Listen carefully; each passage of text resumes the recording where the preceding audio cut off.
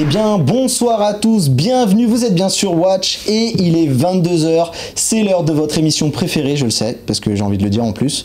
C'est l'émission Andromag, l'émission 100% Android un lundi sur deux, de 22h à 23h, puisque maintenant on aime les nocturnes, c'est comme ça que ça se passe.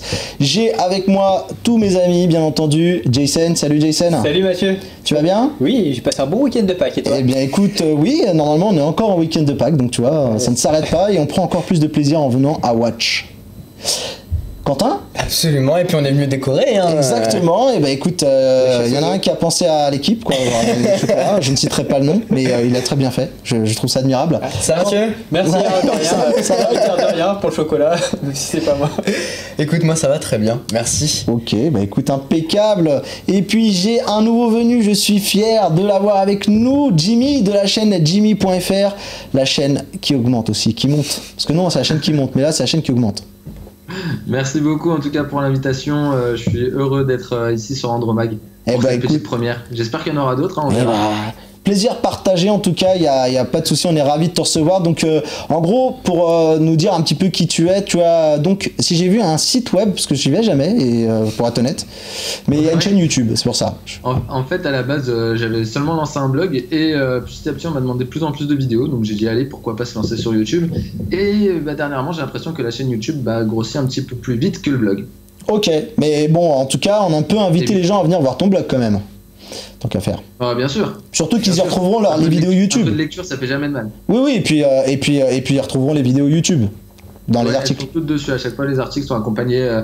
Euh, en fait, euh, les tests que je fais sur YouTube sont toujours accompagnés d'un article. Yes. Et euh, donc voilà, les deux sont à chaque fois jetés. Voilà, donc euh, on le répète, jimmy.fr, D-J-I-M-M-Y.fr, je dis pas de bêtises.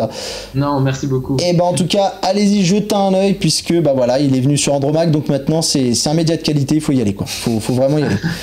Et on est ravi d'accueillir Hervé Vaillant, notre ami qui vient de temps en temps nous voir, en tout cas. Salut Mathieu. Salut, Ravi bah, d'être là.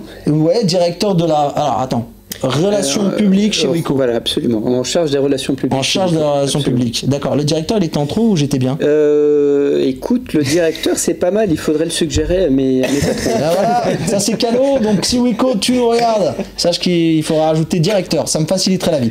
En tout cas, on est ravis euh, d'être là avec toi puisque ce soir tu vas nous parler des appareils du Mobile World Congress qui ont fait sensation. Absolument. Les WicoView. Les View 2, les, les View 2 et View 2 Pro qu'on va présenter tout à l'heure, qui ont fait vraiment un très très gros carton.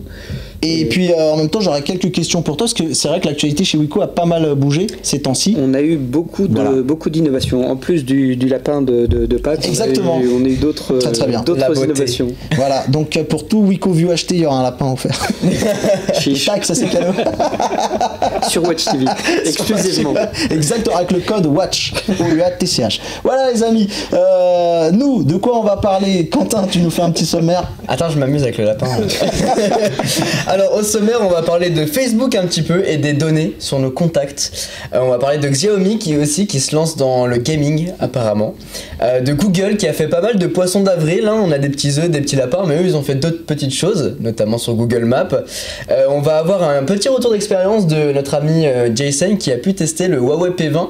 On avait Et Pro- on aura Pro, aussi exactement. Pour le P20. Pour le P20, tout à fait. Et du coup, Ouais. ça fait une bonne semaine maintenant, ou presque, que vous avez pu tester ces appareils. Donc, on va avoir un petit retour d'expérience. Ouais. Et puis aussi, bien sûr, l'interview des chefs, comme euh, Mathieu aime l'appeler, Ouais. pour euh, nous parler bah, du coup de la gamme View. Hein parce que euh, Hervé est là pour ça. Exactement.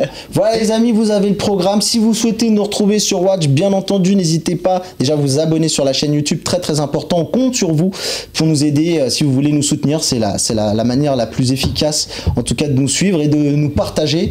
Et également, n'hésitez pas, si vous préférez le les podcasts sur iTunes euh, ou autres agrégateurs de podcasts parce que hein, il y en a pas tout le monde qui est chez Apple hein, bien entendu hein, et cette émission le prouve. Donc n'hésitez pas à aller sur euh, toutes les applications de podcasts pour aller écouter euh, en audio ou en vidéo les replays de ces émissions. On compte sur vous aussi. Si vous avez un Apple bon bah on vous pardonne. Si vous acceptez de nous mettre une bonne notation en tout cas et de nous laisser des commentaires sur comment on peut encore améliorer les choses de, de- notre côté. Et puis voilà. Je pense que j'ai tout dit pour euh, des euh, réseaux pour nous retrouver. On se dit à très vite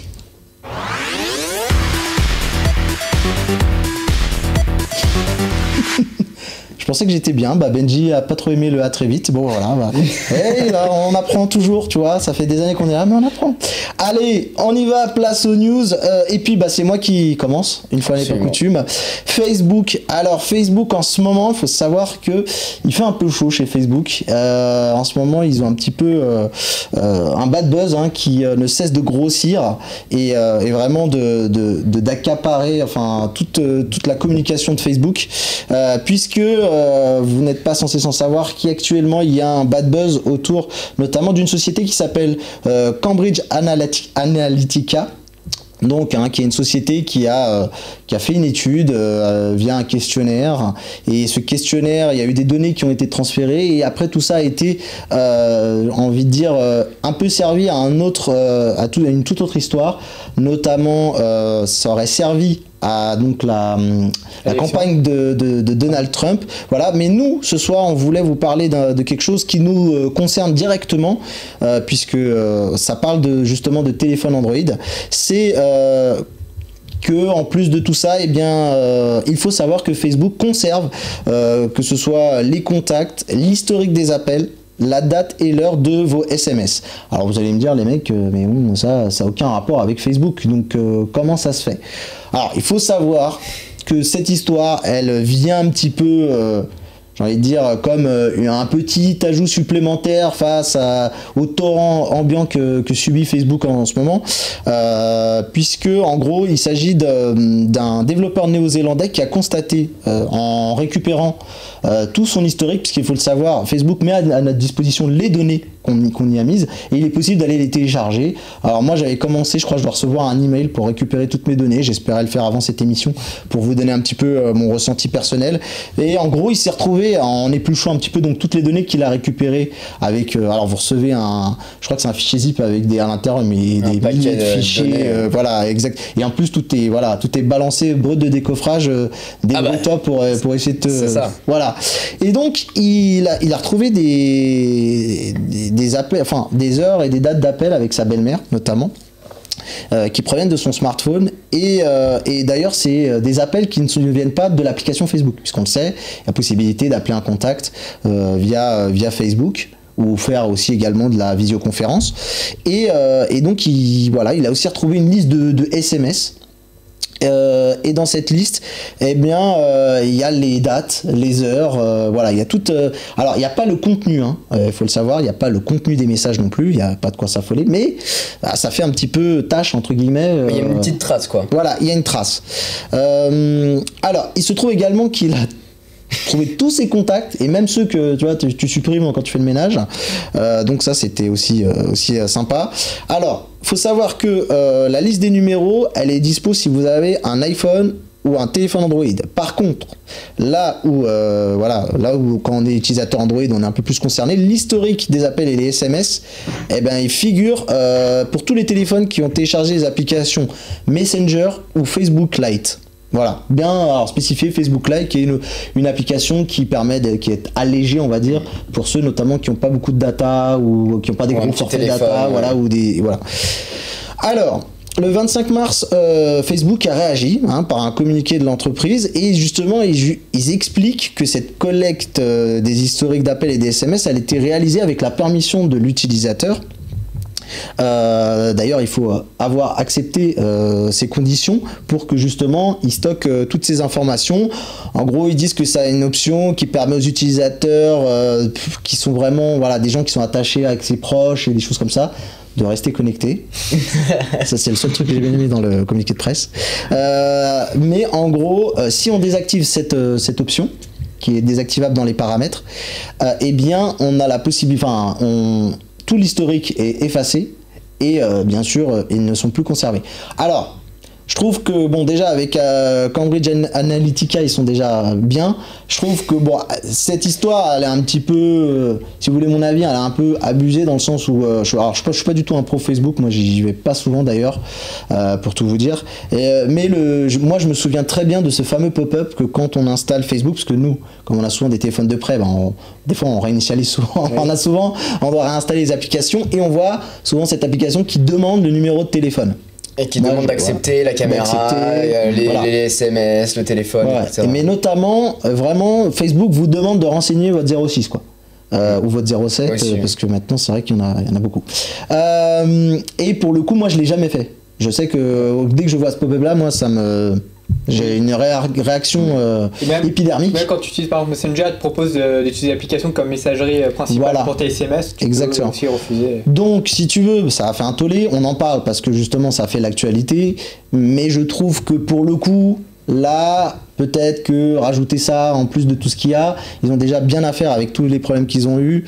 Donc, euh, bon, euh, c'est encore rajouter un peu de d'effets, euh, Ouais, justement. oui, mais ça aura peut-être aussi mérite de montrer aussi euh, aux utilisateurs qu'il faut faire aussi attention à n'importe quelle application, aux droits. On l'avait vu, on l'avait vu notamment dans une émission précédente où il y a eu euh, des effets de bad buzz et je vais d'ailleurs me tourner vers Hervé puisqu'à un moment vous avez une petite traversée du une tempête un petit peu avec un, hacker euh, français qui euh, mettait un petit peu qui, vous met, qui vous pointait du doigt sur des informations qui, partaient un petit peu sur des serveurs en Chine. Je voulais savoir déjà quand on reçoit un peu ce, type de voilà d'histoire qui, qui vous arrive comment on réagit voilà est-ce que voilà il y a paniqué dans la demeure est-ce qu'on réagit euh, Bah, déjà, ce qu'il faut savoir, c'est est-ce que la, volonté, elle est de pouvoir euh, être utile à l'utilisateur ou est-ce que c'est d'utiliser ces données dans un but mercantile pour pouvoir les vendre? Donc, euh, je dirais pour moi, c'est vraiment c'est le, distinguo vraiment à faire.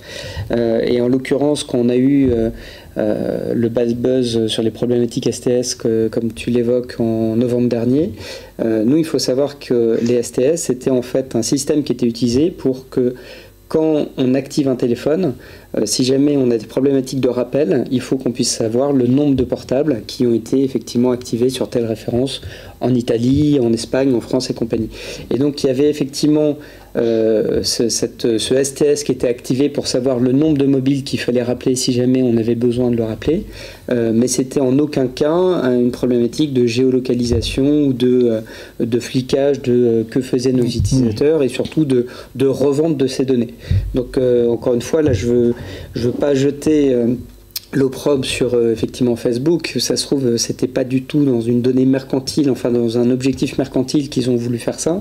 Et, et pour moi, c'est vraiment il y a un distinguo à faire. Est-ce que c'est dans dans une logique d'aider ou dans, en tout cas de rendre l'expérience plus agréable ou meilleure pour l'utilisateur ou est-ce que c'est au contraire pour vendre ces données? C'est pour moi c'est vraiment la, la différence essentielle Et, et c'est d'ailleurs une des choses. Alors là, moi, je ne veux pas prendre la défense des, des constructeurs. Euh, on connaît bien Hervé, on s'apprécie, mais on, on reste quand même, nous de notre côté, on veut rester crédible face à vous qui nous regardez. Donc la question, euh, Hervé d'ailleurs, il n'était pas du tout courant que j'allais lui poser cette question. Vous voulez avoir leur retour et la réponse de Wiko. C'est la leur. Euh, à vous de faire votre opinion. Mais on- nous, on avait fait aussi le constat, les amis, rappelez-vous, parce que ce bad buzz avait aussi touché OnePlus. Et on avait vu que c'est aussi parfois aussi aux utilisateurs et aux consommateurs de faire quand même attention sur ce quoi on clique. Alors effectivement, euh, des fois se taper euh, 15 pages sur les règlements et choses comme ça, alors ok, mais parfois quand on a vu, comme chez OnePlus, où c'était euh, euh, demander un feedback par rapport au retour de l'expérience utilisateur, euh, donc le feedback c'est le retour euh, sur, euh, sur l'expérience, et bien parfois on met participer sans s'en rendre compte, on valide, et après on peut pas non plus euh, avoir une réaction euh, à dire ah non mais moi j'étais pas au courant, voilà. Et même après, euh, en- enfin revenir dans le paramètre pour désactiver cette euh, fonctionnalité, euh, c'est pas évident pour un utilisateur qui n'est pas averti.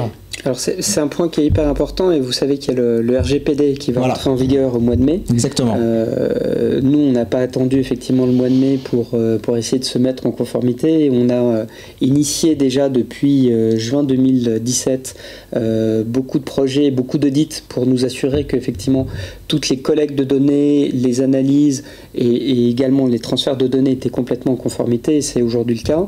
Euh, et je tiens à rassurer aussi nos, nos consommateurs qui nous regardent. Aujourd'hui, les transferts de données pour ceux qui ont accepté de de, de pouvoir collecter et transférer ces données. Ça se fait via des serveurs qui sont aujourd'hui basés en Allemagne. C'est des serveurs Amazon en Allemagne et c'est pas du tout en, en Chine. Et je sais qu'il y a une crainte par rapport effectivement aux serveurs chinois avec euh, derrière des, des ventes de données personnelles euh, qui sont, euh, qui sont assez. euh, assez anxiogène. Donc aujourd'hui, on est nous totalement en conformité par rapport au RGPD et, on est aujourd'hui tout à fait prêt à affronter la, mise en, conformité du RGPD et la mise en application dès le mois de mai. Alors effectivement, tout ça d'ailleurs, ça peut être un mal pour un bien, c'est-à-dire qu'effectivement pour les marques, bon, ça fait pas toujours plaisir à entendre. Parfois, il y a des abus, il faut les dénoncer, voilà, que, quelle que soit la marque et quelle que soit la plateforme qui est utilisée.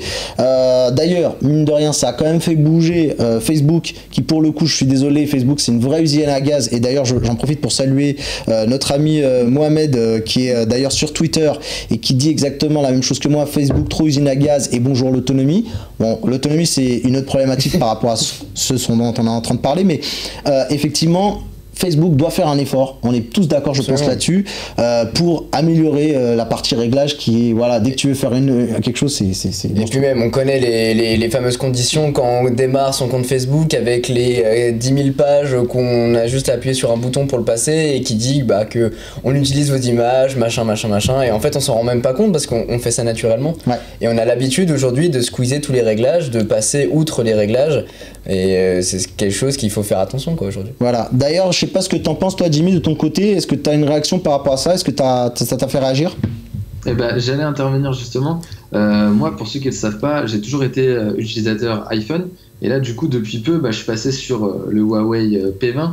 Et euh, c'est ma première expérience Android. Et plus j'installe d'applications, plus on me demande des droits. Et en l'occurrence, Facebook m'a demandé d'accéder à mes messages, d'accéder à mes appels, euh, mon numéro de téléphone et tout, pour tout simplement bah, pouvoir avoir accès à ces, euh, à ces fonctionnalités directement bah, dans les messages, dans les appels.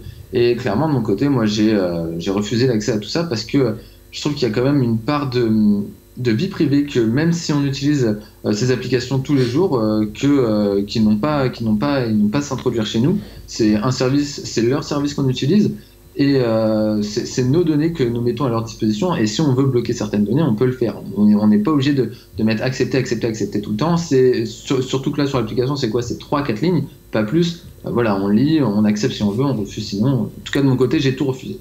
Voilà, exactement. Ce qui montre bien que en prenant le temps de regarder au moins un tout petit peu ce qui se passe, et c'est vraiment à la première utilisation, eh bien, on peut quand même euh, voilà, euh, préserver une certaine partie des peut-être des données qui ne, qu'on n'a pas envie de partager. Il faut savoir de toute façon si ces services sont gratuits, c'est que c'est un peu nous le produit aussi. Donc euh, il faut en être conscient et aussi bah, essayer de, se, de, savoir quelle part on veut donner à ce type de service. Et euh, si on veut pas donner, bah, il faut juste euh, accepter de ne pas utiliser ces, ces services. Si on veut vraiment, on veut rien donner. Quoi. Ça c'est un choix. Voilà les amis pour cette news un petit peu voilà qui est pas qui est pas de toute voilà qui donne pas envie de, de rigoler, mais il fallait qu'on en parle. C'était important. Et puis je remercie Hervé pour ta réponse. Euh, je, par rapport je, à... je, suis là pour ça. Ah oui, cool, c'est cool. Voilà, prochaine news, les amis, euh, on va parler donc Xiaomi. de Xiaomi qui euh, ferait une petite entrée dans le gaming mobile. Oui, c'est ça. Donc une news un peu plus légère. Donc ouais, après ce qui s'est passé, donc des rumeurs disent que Xiaomi va se lancer donc dans le secteur du mobile, dans le secteur gaming du mobile, pardon, excusez-moi, avec donc un modèle qui s'appellerait le Black Shark. Donc on peut voir le visuel pour euh, annoncer donc euh, ce téléphone là. On peut voir donc euh, leur logo, c'est un requin qui mord la queue avec un dragon. Pourquoi un dragon? Parce que ce mobile serait équipé d'un Snapdragon 845 donc de Qualcomm. Et au niveau des caractéristiques, donc d'après les rumeurs, il embarquerait 8 Go de RAM. il tournerait sur Android Oreo et il aurait au niveau de la mémoire interne 32 à 64 Go de mémoire interne suivant le modèle, ainsi qu'un écran en Full HD+, mais surtout avec une dalle euh, avec un taux de ra rafraîchissement de 120 fps. Donc en gros, ça serait 120 un mobile. 120, 120 Hz. Donc ça serait un mobile. dans le gaming, 100 fps. Euh... ça serait voilà. un mobile qui donc euh, ferait euh, concurrence avec le téléphone de Razer, le Razer Phone. Exactement. Absolument. Et ouais. puis il y a même un, un des, des, acteurs qui, un peu, qui a un peu lâché un peu l'affaire, mais j'espère qu'on peut-être va revoir, c'est Acer avec sa gamme Predator qu'ils avaient décliné en mobile oui. avec une tablette. Alors moi le truc qui me dérange dans ce que tu es en train de me dire, c'est euh, Euh, connaissant Xiaomi, 64 Go de stockage pour un téléphone Pour un gaming, jeu, euh, sachant qu'on les, on les connaît, ils sont pas du genre à mettre Oui. des cartes micro SD. Après, après, tu vois, c'est une rumeur, donc après, il peut euh, avoir une autre déclinaison un peu plus haute. En tout cas, on a vu aussi qu'il y avait des, donc des rumeurs euh, sur, autour de cet appareil, et au-delà, au niveau en termes de puissance. Oui, en termes de puissance, puisqu'il y a eu des benchmarks qui, ont, euh, qui, ont- qui sont disponibles sur le net, et on peut voir que en fait, ce téléphone euh, a le meilleur score actuel euh, sur Geek Benchmark. D'accord. Donc, voilà. euh, si Benji peut diffuser. euh, Et, et un, et premier euh, aussi également euh, aussi euh, information qu'on trouve dans cette euh, dans ce visuel avec le, le benchmark donc c'est qui s'appellerait le SKR A0 en nom de code Oui. alors ça c'est à confirmer alors moi j'ai un petit peu mené mon enquête euh, donc sur euh, qui était euh, Black Shark parce qu'en fait on s'imagine que c'est le nom du téléphone et en fait complètement pas c'est une société euh, dont, euh, Xiaomi dont- est donc actionnaire. Xiaomi euh, ouais, euh, est actionnaire avec euh, une autre société qui s'appelle Nanchang Jinkai Group. Donc euh, et que du coup ils vont en fait c'est une société qu'ils ont depuis un petit moment qui fait des smartphones. Euh, mais vraiment je pense que c'est pour euh, pour le marché chinois en tout cas que mais du coup euh, l'idée c'est de ouais, à mon avis ils se sont dit avec le nom ça on peut faire un truc sympa dans le gaming euh, euh, C'est- une question justement. Il, il est destiné à arriver sur le marché euh, français, européen alors pour l'instant euh, on a très très peu d'informations Vu le carton Euh, d'invitation, c'est très chinois pour l'instant. voilà Après, Xiaomi Après- annonce euh, souvent des téléphones vendus en Chine, donc après, l'international, c'est plus souvent de l'import en fait. Mais on sait que c'est en train de changer, enfin Oui. c'est en train de bouger du côté de ces Xiaomi et qu'une arrivée en France euh, est Et probable et c'est- voire. il, faut, il faut rappeler qu'ils étaient quand même au Mobile World Congress pour la, la toute première fois euh, cette année. Non, l'année dernière ils y étaient déjà Ils aussi. étaient déjà, Ouais. Donc c'est la deuxième année, ouais, mais ils se renforcent de plus en plus. ouais. Mais c'est la première fois qu'ils ont un store en fait à Barcelone, par Ouais. contre. Voilà, exactement. Donc ils ont, ils ont, euh, ouais, ils ont oui, inauguré. Je cherchais. Inauguré, absolument. En tout cas, on peut aussi Voilà. acheter leur téléphone en Europe euh, via. euh, sur le net. sur le net, ouais.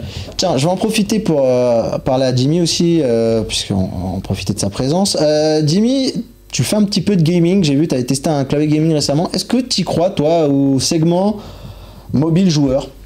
Euh, voilà, on a vu Acer se lancer à un moment euh, sans, sans que ça soit trop ouf. On a vu Arcos aussi à un Oui. moment s'essayer avec euh, des consoles sous Android. Euh, alors, je pose la question à moi, Jimmy, je mais on se tournera après à tout le monde. Mais est-ce que franchement c'est un truc qui, qui parle aux joueurs vraiment en fait, ce segment? Moi, je pense que tu peux difficilement jouer réellement sur euh, un portable. Après, je me dirais, il y a euh, PUBG ou encore Fortnite qui sont sortis dernièrement. Mais euh, pour moi, un portable gamer aujourd'hui, c'est euh, c'est un peu inutile, je dirais. Après, faut voir, tu peux voir qu'il y a des solutions comme euh, Shadow. Donc, je sais pas si vous en avez entendu parler, euh, Ouais. Shadow, le PC dans le cloud. Donc, j'ai pu l'essayer et euh, du coup, ça arrive maintenant sur smartphone. Et euh, il suffit de brancher une manette tout simplement et de pouvoir jouer. Donc là, je trouve ça super pratique. Après, encore une fois, on n'a pas besoin d'avoir un téléphone surpuissant pour pouvoir faire tourner Shadow. Tout se passe dans le cloud. Donc voilà, est-ce que un portable vraiment euh, destiné au gaming, euh, c'est intéressant? Je, je pense pas. Très honnêtement, euh, voilà, aujourd'hui les smartphones qu'on a avec les processeurs qu'ils ont, bah, on peut faire tourner des petits jeux sympas. Je pense pas qu'on ait besoin de plus, très honnêtement. Si on veut jouer, bah, on a des consoles ou alors on a, on a un PC ou n'importe quoi. Mais euh, voilà, moi je sais que j'ai plus tendance à sortir ma Switch que sortir mon téléphone pour faire une partie de Fortnite. par Bah justement, j'allais me tourner vers euh, les deux protagonistes à côté qui ont une Switch. Est-ce que euh, oui, ça vous parle? Parce qu'en fait, honnêtement, pour juste resituer quand même, on se doute bien que, enfin, le marché gamer quand même, il est, il est pas très riche. Enfin, Bah, on sait pas là, tu feras des millions quoi en fait. Disons que euh, c'est très segmenté, mais- en même temps, les gens se retrouvent sur une même plateforme. Ça peut être euh, PlayStation, ça peut être Xbox, ou alors ça va être PC. Mais c'est vrai que les nouveaux acteurs ont du mal à se trouver une place parmi ces trois, euh, ces trois géants en fait. C'est soit l'un, soit l'autre en fait. Et c'est vrai que sur sur smartphone, ça offre une toute nouvelle expérience parce que c'est très portable, on peut l'avoir tout le temps avec nous.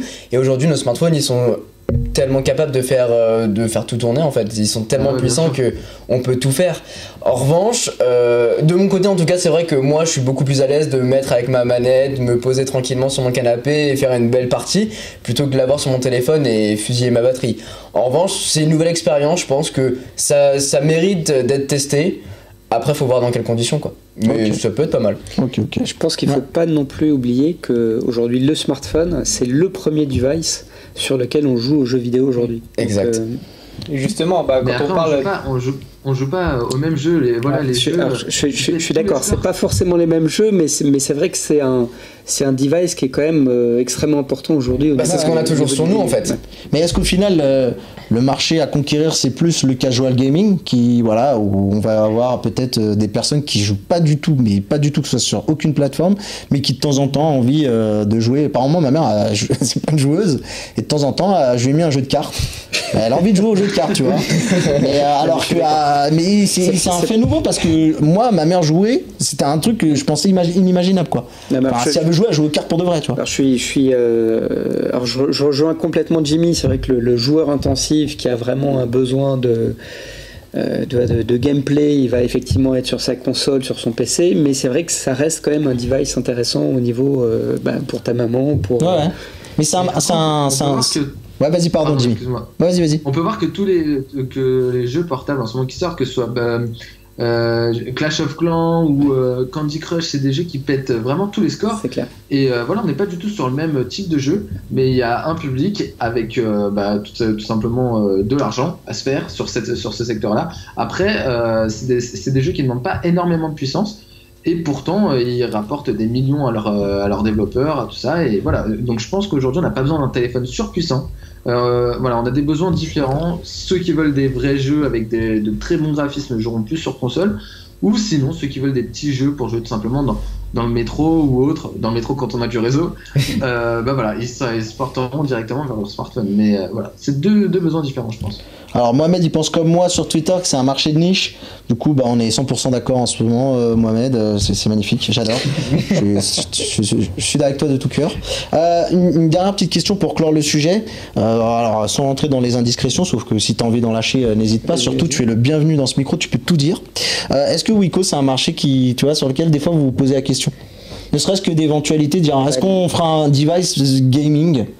Alors moi le, le- le gaming, alors après c'est vrai que j'ai une, moi je suis né, je suis né avec Pong. Ouais. Moi je suis, je suis né en 68 donc euh, je suis né avec une console euh, Pong dans les mains. Euh, et c'est vrai que le, le- gaming pour moi, je, je- je pense que et, et ça me fait vachement plaisir quand je vois effectivement aujourd'hui les nouvelles, les nouvelles consoles Sony qui utilisent le smartphone comme console Ouais. justement. Moi, je, je pense qu'effectivement, le smartphone est un device très intéressant pour le jeu vidéo. Et, je milite, et sans, trahir de secret, je milite vraiment beaucoup pour que nous, Wico, euh, alors qu'on a effectivement beaucoup de, bah, d'utilisateurs qui sont des, des, vraiment des primo-accédants qui ont entre 12 et 18 ans et donc qui sont assez fans de jeux vidéo, moi je milite beaucoup pour qu'on aille dans cet univers parce que je crois beaucoup euh, à cette... euh, à cette association euh, smartphone et, et jeux vidéo. Et encore une fois, avec des besoins, et je rejoins encore une fois Jimmy, des besoins qui sont différents. On va pas effectivement jouer à GTA sur un, sur un smartphone, Ah, mais en revanche, possible. effectivement, euh, C'est possible et ça tourne très bien.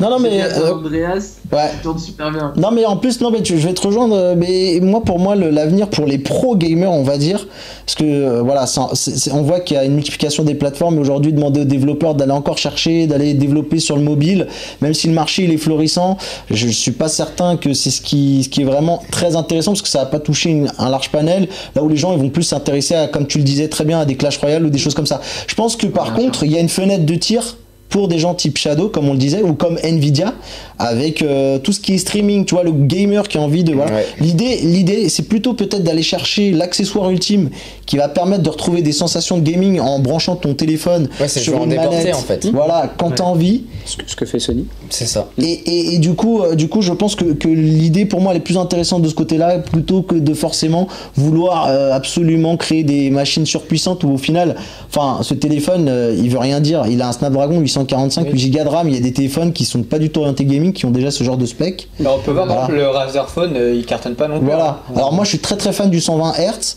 euh, mais plus pour euh, la fluidité que va m'offrir ce type dédale Mm. sur euh, la navigation de mon téléphone, plus que sur absolument avoir un gaming. Bah, bon c'est voilà. ça, parce que s'il n'y a pas d'expérience derrière qui te prouve qu'il y a une nécessité d'acheter un mobile haut de gamme orienté gaming, Voilà. Autant rentrer sur un téléphone beaucoup moins cher. Surtout que de ce qu'on voit derrière l'image, bon voilà, ça va être encore des couleurs flashy, euh, ça, ça va être encore un truc qui va parler à peu de monde. My ride. Voilà les amis, bon on va, on va avancer un petit peu parce que euh, le temps tourne Oui. et qu'on a encore d'autres choses à dire. Donc euh, voilà, pour euh, Xiaomi...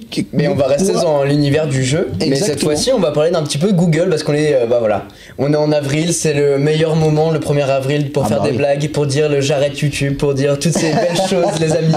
Et, euh, et Google, et bah, comme chaque année, fait ce- son petit Easter eggs, comme on dit dans le milieu, des, des petits, euh, des petites choses cachées. Ils sont très fans du poisson d'avril. Exactement, et ils ont fait pas mal de choses et dans différents pays. Euh, par exemple, en Chine, ils ont parlé du Google Gboard. Donc là, par exemple, sur le téléphone, Japon. euh, exactement. Japon. Fais attention. J'ai dit quoi en Chine T'as dit Chine. Ah, j'ai dit. bah, alors, je voulais dire Japon, pardon. Attention. Et ben, il y a Google Gboard sur Android qui est le clavier qu'on peut glisser comme ça pour écrire des mots. Bon, là, j'ai écrit n'importe quoi, mais par exemple, je dis bon, euh, je, vous, voilà. C'est l'idée, c'est de glisser pour pouvoir créer des mots. Et en fait, ils ont fait un Easter eggs pour euh, simuler en fait euh, un clavier réel sur lequel on peut on peut glisser. Donc plutôt sympa, exactement la même fonction que ça, sauf qu'en fait, ça fonctionnerait sur un vrai clavier. D'ailleurs, on a, une- on a la vidéo, tiens, on va, on va la regarder pour en voir au moins, au moins en voir une.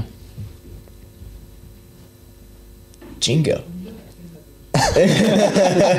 Alors, c'est la, la vidéo, alors, parce que Benji il était perdu à la régie. Elle doit s'appeler Gboard, euh, voilà, c'est écrit en, en japonais, donc euh, voilà. C'est ça. Exactement. Voilà, exactement ça. Et en fait, 生 c'est on va, on va faire la traduction. non, mais en gros, l'idée, c'est, c'est simple, c'est que bah, il suffit de slider sur n'importe quel clavier. Alors, glisser. tu vois, c'est le truc complètement, oui, euh, glisser, pardon. Voilà, et l'idée, c'est complètement farfelu, parce que là, en fait, on a des claviers. Et donc, ils ont créé ce faux boîtier, là, euh, avec euh, le D board que tu branches en USB. Et en gros, pour écrire tes mots, bah, pour faire un E, même des lettres françaises, hein, un F, suite slide, ça. Et, glisser. Et ce qui est très drôle, c'est qu'à un moment dans la vidéo, ils sont tous en réunion et tu les vois slider, ils sont tous sur leur et ils slide comme s'ils avaient euh, un stylo et c'est c'est complètement absurde. Et le but de ça, c'est juste de faire une petite blague. Et ils ont fait ça du coup bah, au Japon. Regardez ça. En réunion, ils sont tous en train de glisser. Ça n'a aucun sens, mais c'est très drôle. Et du coup, Google a fait ça euh, au Japon, mais ils ont pas fait ça que au Japon. Ils ont fait ça aussi en- à Israël, en Israël. juste avant que tu partes sur Israël, je voulais dire par rapport au clavier, c'est que mine de rien, nous les Français, vu qu'on est très emmerdants, parce qu'on a un fameux clavier AZERTY, tu vois, bah, ça réglerait le problème, parce qu'au final, tu peux avoir un clavier sans touche, puisque la surface sert juste pour le glisser en fait. C'est ça, c'est vrai. Voilà, regarde, tu vois, clavier sans touche, voilà, tu règles le problème. Et puis eux qui doivent se manger, tu vois, leur caractère japonais, mais sur des claviers euh, QWERTY, enfin, c'est. Voilà. Pour l'anecdote. Voilà, c'est- très drôle. Et euh, ils ont fait ça aussi euh, en Israël avec euh, le Hummus API qui vous aide, euh, si vous êtes amateur d'hummus, de pouvoir euh, choisir le, le meilleur pour vous. En fait, en gros, c'est quelque chose qu'on va mettre dans sa bouche. Donc, c'est un API qu'ils ont mis sur un produit. On va le mettre dans la bouche et ça va détecter Nos goûts. le, le- la, la version, la recette du mousse. Parce qu'en fait, apparemment, dans Israël, il y en a ça. plein partout. euh, Avec différentes textures, plats, différents, euh, différents ingrédients qui sont un petit peu dosés euh, de manière différente. C'est et ça. là. Eh ben les mecs ils, ont fait une API qui va permettre de détecter le houmous parfait qui vous Exactement. Et il y a encore une vidéo, donc je vous invite à aller la regarder, c'est très Ouais, drôle. ouais, ils ont fait le bâton pour pouvoir le mettre dans la bouche qui se connecte en USB, enfin c'est Et très en, très drôle. Et en gros, enfin, ce qu'il faut montrer, c'est que, et c'est très sérieux, la, la, la vidéo montre, Ah oui.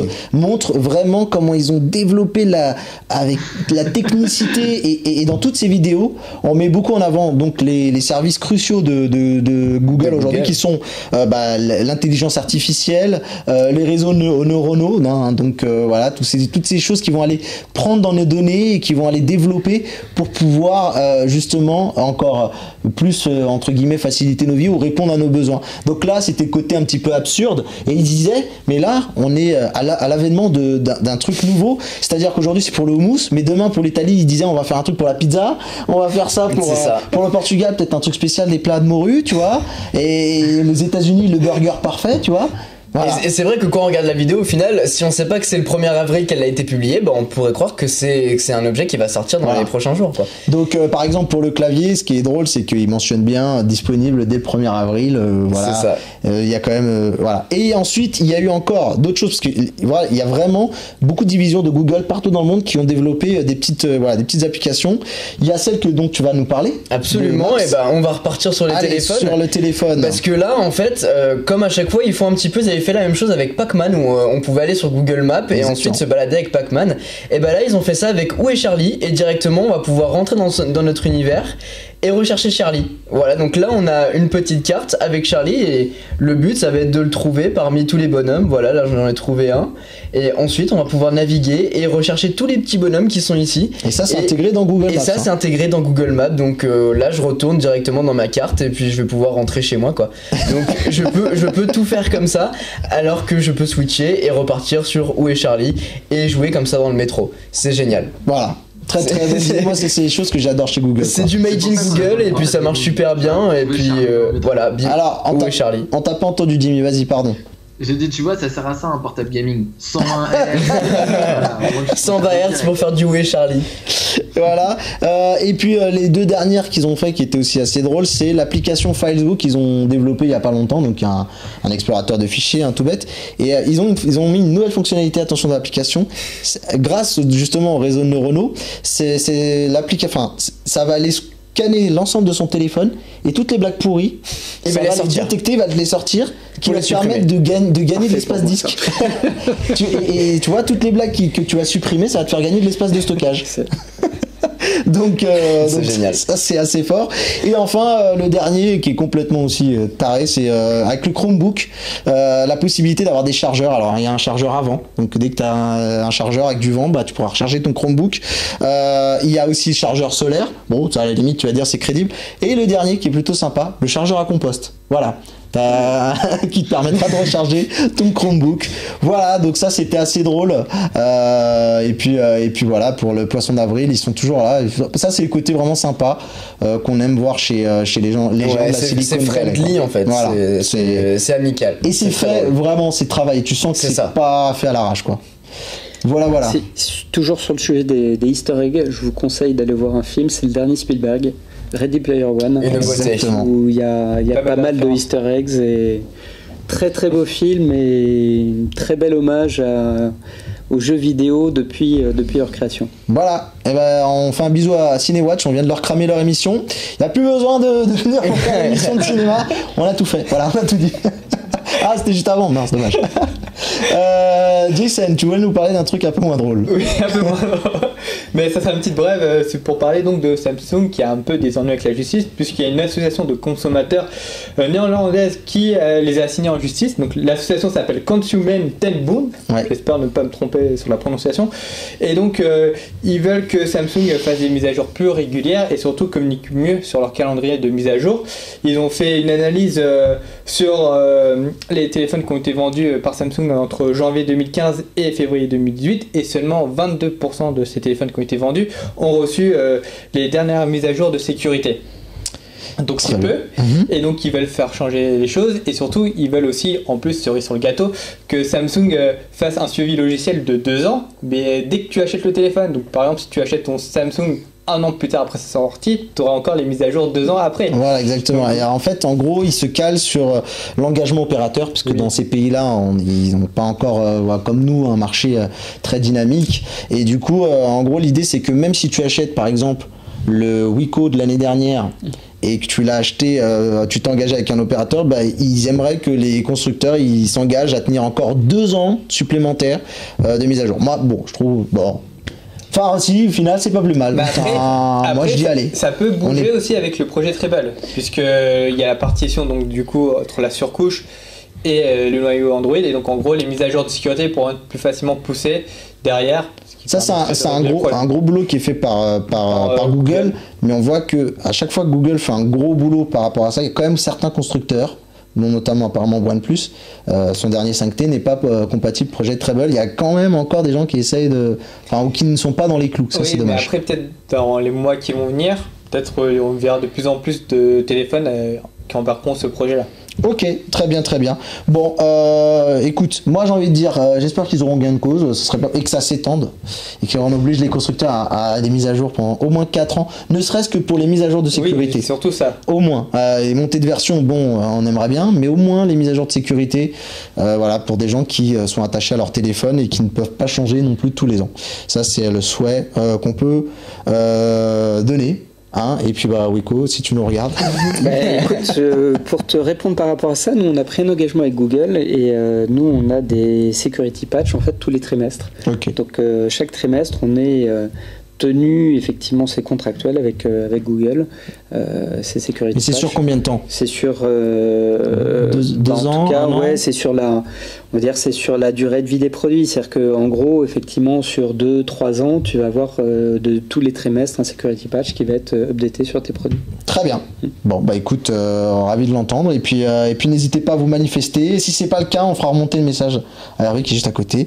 Voilà. Euh, bon, les amis, on va avancer parce que le temps file et qu'on a pas mal de choses à dire. Est-ce qu'on a prévu une, une petite interlude ou on enchaîne tout de suite avec le Huawei On P20? enchaîne tout de suite On enchaîne tout de suite. Allez. Allez, donc, du Alors, le 27 mars, Le on a 27 été- mars, on était au Grand Palais pour l'annonce de la nouvelle gamme de chez Huawei, donc les P20 et P20 Pro. Euh, donc Quentin, toi, Jimmy et moi on était présents. Hervé non, toi tu n'étais pas là. J'étais pas invité. T'étais au soleil, merci. Et donc euh, bon, on a pu découvrir donc la- les nouveautés euh, de chez Huawei, donc le P20 Pro qu'on a ici présent. Donc Et Jimmy, il a le P20. Donc, P20 voilà, chez lui. Exactement. Donc- Exactement. Si Benji peut diffuser, on a une petite vidéo derrière juste pour, euh, pour montrer un petit peu les visuels euh, du téléphone. Donc euh, donc c'est le haut de gamme de chez Huawei, le P20 Pro qu'on a ici. Donc euh, au niveau des caractéristiques, il embarque un écran euh, AMOLED de 6,1 pouces d'une résolution Full HD+. Pour le processeur, ça sera un processeur iKirin euh, 970, donc le même que Kirin. ouais. Silicon Kirin euh, 970, donc le même que celui du Mate U10, donc Mhm. bah, un très bon Le Pro, processeur. ouais. Voilà. Il a un parc aussi, une mémoire vive de 6 Go. Euh, si je ne me trompe pas, pour ce modèle-ci, tandis que le modèle, euh, le P20, lui, aura 4 un peu moins de mémoire vive, voilà, 4 Go. Et aussi, petite nouveauté, on va dire, chez euh, Huawei, il n'y a plus le port micro SD, mais surtout, il y a, un- il y a trois capteurs photo à l'arrière. Donc, on retrouve un capteur principal de 40 mégapixels. Pardon? C'est Wonder Woman. Ah oui, il y a l'actrice. C'est euh, Gal Gadot. Il y, a, il y a Benji qui me dit Ah. ah, c'est Wonder Woman. Alors tu sais, on parlait du P1, moi je comprenais plus. oui, effectivement, c'est là, l'actrice de Wonder C'est- Comment donc. elle s'appelle, madame? Gal Gadot. Gal Gadot. Donc, l'égérie de. Huawei cette année, l'année dernière, c'était. Ticket Galgado Ouais. bon, en tout cas, on sait qu'elle nous regarde, on l'embrasse. Et l'année dernière, donc, c'était l'acteur de Superman euh, qui Exactement. était Ils sont en train de faire tous les, tous les décès. Donc euh, voilà, au niveau donc euh, petite nouveauté dans, cette année, c'est que Huawei donc embarque trois capteurs photo pour euh, leur haut de gamme. Donc on a un capteur photo de 40 mégapixels en couleur, un capteur Leica de 20 mégapixels et enfin un capteur photo de 8 mégapixels avec un zoom optique x3. Et donc tout ça pourquoi? Pour faire de jolies photos. C'est ça la particularité, c'est sur ça qu'ils ont beaucoup communi- communiqué Huawei. Et donc euh, là, si, vous- si Benji peut diffuser, j'ai fait quelques petites photos. euh, Ouais, tu amusé avec ce voilà, week-end. pendant mon week-end euh, à Montargis, Vous voilà. êtes magnifique.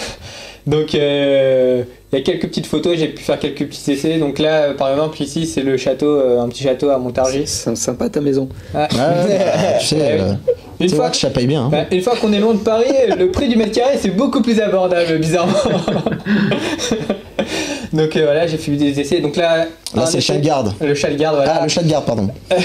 Là, c'est- j'ai testé le zoom x10. Donc, euh, D'accord, Là, on peut voir que la qualité est plutôt pas mal. Le Ouais. piqué est plutôt bon et la photo est pas trop broutée. Euh, sinon, j'ai fait aussi des essais avec euh, le capteur euh, photo noir et blanc. Donc là, c'était aussi dans, dans une église euh, à Montargis, toujours. Très Donc, pieux, Jason, hein, très très pieux. Non, mais c'est bien les églises euh, pas très Oui, coloré. avec les C'est très vitraux, coloré, voilà, pour euh, tester voilà. justement Ouais. un capteur photo. Pour donc des couleurs, exact. Là, on peut voir que on peut voir les vitraux, mais également le mur, ce qui est plutôt euh, une prouesse parce qu'avec les téléphones, euh, soit on voit les vitraux, ou soit on voit le mur, mais pas les deux. Généralement, c'est soit l'un, soit l'autre, parce que si on regarde le mur, on aura donc les vitraux qui seront cramés. Comme on dit, donc la luminosité sera trop importante, on ne Ouais, verra oui. pas les tailles. Et là, justement, la plage dynamique, La plage photo, dynamique est très bonne, très bonne ici. Qui permet de faire le rapport entre les hautes lumières et les basses lumières. Tout à fait, Voilà, les Mathieu. amis. Petit cours de photo. Et là, une petite photo en Noir et blanc, quel homme, regarde. Eh oui, euh, Quelle femme. Une nouvelle photo de profil, ça. hein. Voilà. Ouais, nouvelle photo de profil, ouais. Merci à la personne qui m'a pris en photo. En couple. Putain de merde, tu sais. mais non, mais surtout, voilà, comme toujours avec Huawei, on peut euh, prendre une photo et régler le focus après coup. Donc là, justement, dans la photo de droite, euh, je vais régler pour faire un flou d'arrière-plan parce que le l'arrière-plan était pas tip top, on va dire. voilà, on a un Sympa petit pour la dame. bon, alors, moi, les questions que je voudrais savoir, c'est. euh, et là, je vais me tourner un peu vers Jimmy. Alors, ce Huawei P20, euh, ton premier ressenti, parce que c'est peut-être encore trop tôt de parler de test, mais euh, le premier ressenti. Alors, euh, au niveau du P20, je trouve que la caméra, déjà, elle est très bonne. Euh, rien d'exceptionnel pour autant. D'accord. Euh, je pense que vraiment ils se sont basés sur le P20 Pro. En attendant sur le P20, euh, on a une très bonne qualité d'image. Je trouve que je sais pas si cet argument, si c'est cet argument qui a été mis en avant par Huawei, tu sais au niveau de l'IA, qui permet vraiment, bah, pareil comme comme j'ai dit tout à l'heure dans l'église, de pas avoir des images trop cramées, de bien voir tous les détails, les couleurs.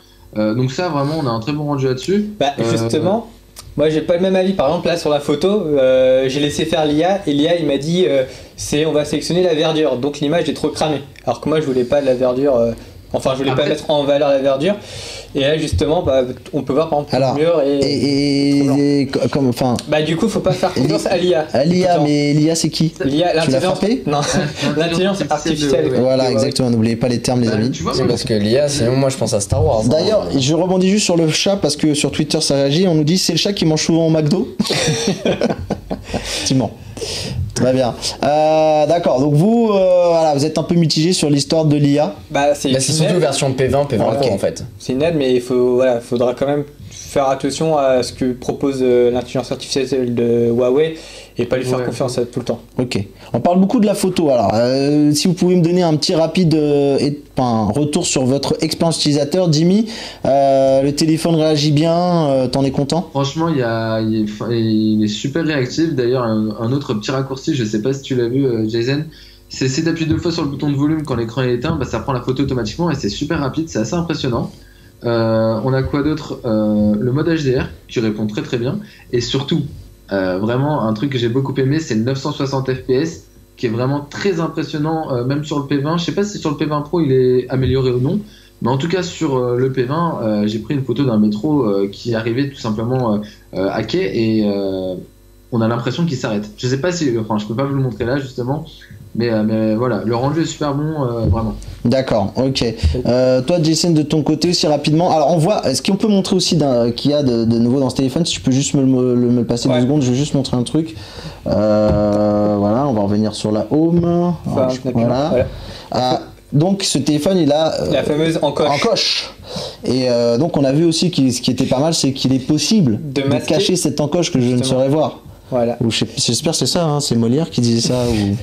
Voilà, bon, Il est possible de masquer cette encoche dans les paramètres et donc euh, de mettre la barre de notification en noir. Exactement. Et comme c'est un écran OLED, euh, justement, on- les pixels seront pas allumés et l'illusion est parfaite. L'illusion est très bonne. ouais. Par contre, avec le P20, vu que c'est une dalle LCD, donc on aura toujours le rétroéclairage derrière. Et donc là, je pense que euh, l'illusion Franchement, sera c'est moins léger. J'ai essayé, franchement, c'est léger. euh, on la voit légèrement, mais. euh, Alors, la on peut le montrer là, peut-être euh, Tu peux mettre juste le À première vue, on le voit pas.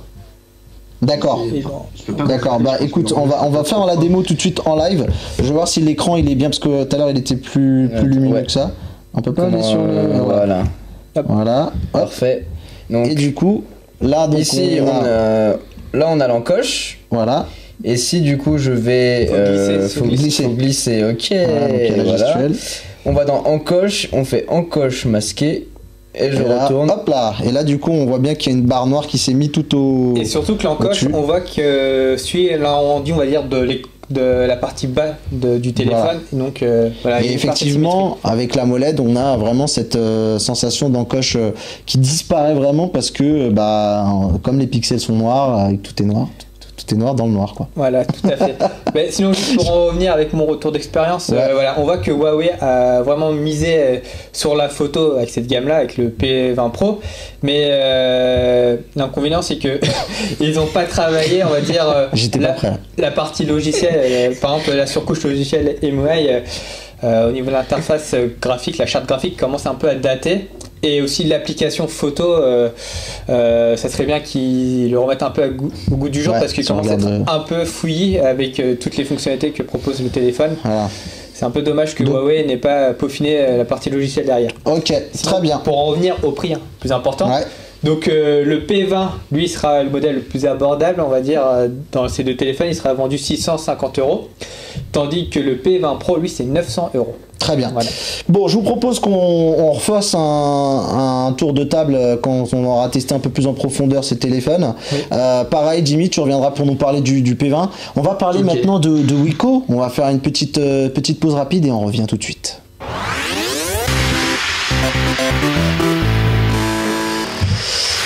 Hervé, alors c'est à toi et on va parler un petit peu de Wiko. Et mais juste avant de parler euh, des views, je voudrais juste avoir un petit peu ton retour sur euh, ce qui a changé depuis votre alliance avec Tino, euh, puisque ça a été une des grosses annonces que nous on a couvert.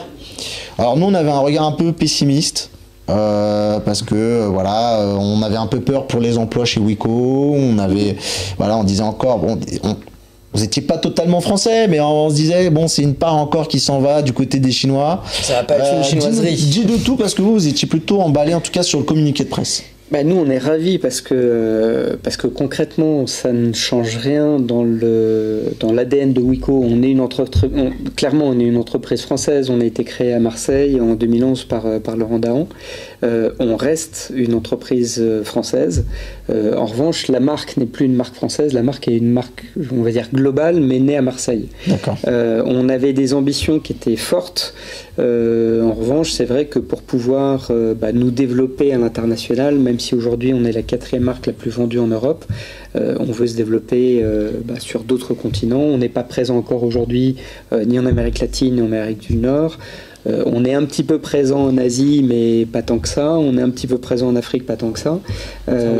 Donc on, on avait vraiment besoin d'avoir un, un, un partenaire euh, financier euh, fort et, et on a fusionné depuis euh, quelques temps avec Tino, ouais. Mobile, euh, qui était notre partenaire industriel et notre, notre partenaire industriel notre partenaire financier Ouais. et, et ça va nous permettre vraiment de nous développer et on est vraiment hyper ravis parce que d'abord ça ne va strictement rien changer pour les 250 emplois en France. Au contraire, je pense que non seulement les 250 emplois vont être conservés, mais qu'on va continuer à recruter encore davantage dans les euh, prochaines semaines. Super. Bon, eh ben écoute, tant mieux. On est ravis. En tout cas, c'était euh, vraiment la, chose qui nous. On, enchaînait un petit peu les mauvaises nouvelles avec certains constructeurs.